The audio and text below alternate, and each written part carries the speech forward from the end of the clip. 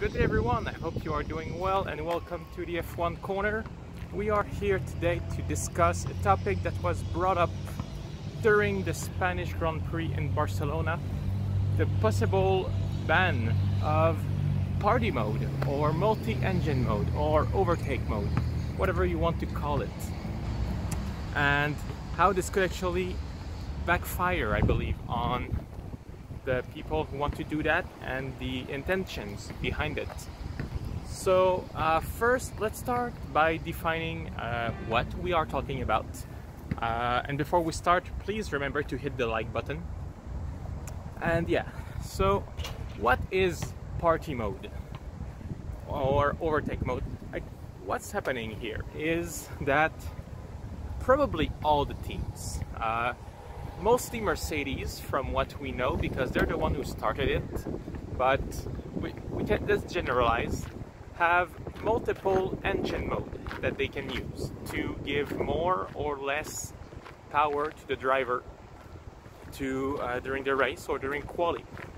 And you probably heard it in the past uh, during uh, qualification uh, on the radio telling Lewis Hamilton that he can use party mode or during the race uh, someone telling a driver okay you have overtake available. And what this is is uh, a, a different engine setup that allows you to have a bit more power for a short amount of time. Or actually if you leave it on all the time you'll have more power for the whole race. But it's also tougher on the engine and not good for reliability. And what's happening here is that this engine mode, this multi-engine issue, obviously started with, uh, I think it's Mercedes that started it at first, quite a few years ago. They're the first one who had this boost of engine power that they were able to use during qualification. And other teams started implementing it so it's not like it's an unfair advantage at this point. They say that during qualification party mode could give uh, some teams like Mercedes up to a one second boost. Though this is debatable because we don't know the exact change in power but when you look at the available data. There's an interesting video on the uh, Formula One official channel about that. You can see that during some part of the qualification lap, for example, the engine is using a lot more power, have a lot more power than during a normal uh, lap. And now what the FIA wants to do is to ban this practice which is basically to have yeah multiple engine setup that you are able to use at different moment of uh, the race and qualification session. And uh, you know just change as you go on the fly depending on what you need. And what they want to do now is to put on a rule that all right during practice pick you can try all the different engine modes that you want, we don't care. But during qualification and during the race, you select one engine mode and you stick with it for the rest of the weekend. The goal behind this idea is obviously to slow down a little bit the Mercedes who are just really in front of everyone else at this moment. But this could very well backfire in some way because let's let's think about it for a moment.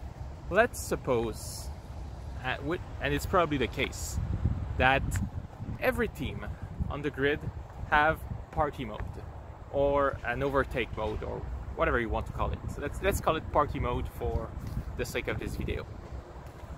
Well, who, ha who has it for sure? All the Mercedes uh, powered teams, so Mercedes, uh, Racing Point, uh, who else has Mercedes engine? Uh, Williams. So for sure they have that with the same power as the Mercedes factory team because it's the same power unit. And other teams, for sure, we think they have it. We don't know to what extent, what what type of power, but if you remove that, you have to pick one engine mode for the whole weekend. Well, now it gets down a little bit to reliability, uh, which is the first argument I'm going to put on here. If you are a Mercedes that had no engine failure in 2019 and I believe maybe one in 2018 and this year still going strong and no power unit issue. You obviously have a more reliable engine than your contenders. Which means that you can allow yourself to power it up a little bit more to uh, during the race during quali because you know it will be safe and the Mercedes power unit is also probably the best at the moment on the grid uh, for knowing that Ferrari has gone down this year and that Renault and Honda are still missing a little bit in terms of raw power. So already you start, if everyone is equal, Mercedes seems to already start at the top. And now if you remove a potential boost that some teams might be doing better than Mercedes, we don't know. Well, then you have Mercedes, who is the strongest, and you try to level the playing field but because the other teams have potentially less reliable engine or less powerful engine over, uh, overall, they cannot allow themselves to use this extra bit of power for the whole weekend instead because they, this will result in engine failure. And Mercedes will just keep flying away, maybe even more, and the Mercedes power team will know that. And someone is painting uh, lines on the grass. So yeah, Mercedes power team will just have an advantage even still because they will have more power. They will allow themselves to use more power because of reliability. And this is potentially a bad thing because now uh, we don't want Mercedes to go farther ahead, but this could, could bring all three Mercedes team toward the top. Which, I mean, for Williams, I think everyone will argue it's not a bad thing. But Racing Point, which is already under scrutiny, and Mercedes that we want to slow down, it would, they will just be even faster than the others. And other argument I want to use here is also uh, for the show on track. Like, I just taking an example here. Let's say you are uh, uh, Lando Norris behind, uh, I don't know, Daniel Ricciardo. And the battle is heating up, heating up, and now you you are stuck, you are Lando, you are stuck behind Daniel and just try to passing but it's it's not working. And then there's only a few laps left in the race and the team knows that the engine will be fine. They allow you to use overtake mode that will probably allow you to overtake Ricciardo or at the very least you know have a very good battle with him, not just being stuck behind and unable to do a move. And vice versa for uh, Ricciardo or whoever's the other car, if they can use this extra bit of power on their own side, and also depending where they want they use it, because it cannot, it can be also just for a few corners or not the whole lap. So I think yeah, this is something that even though I understand that they want to slow down Mercedes for the overall of the grid, this could be a bad thing. For the overall of the show on track, this could be a bad thing. And you know, it's just that at this point we we know that Mercedes has more raw power. If they're more reliable, they're gonna use it and just gonna keep go be on top and potentially even more than they are now because they also have a very good car in itself. So tell me what you think.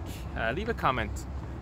Should we ban party mode, multi-engine mode? Should we uh, maybe find a rule somewhere in between? And because uh, this is a, a tricky topic, and you know, if things stay as they are right now, sooner or later the other teams will catch up to Mercedes. It's just a matter of when. And yeah, I just honestly, I, even though I, I want personally Mercedes to slow down, I don't want to lose the, the show on track. And that would be very sad, I think. So thank you for watching everyone. Please subscribe and hit this like button. Leave a comment. Tell me what you think and I will see you very soon with another F1 vlog. And remember, next week is the Belgian Grand Prix in Spa-Francorchamps.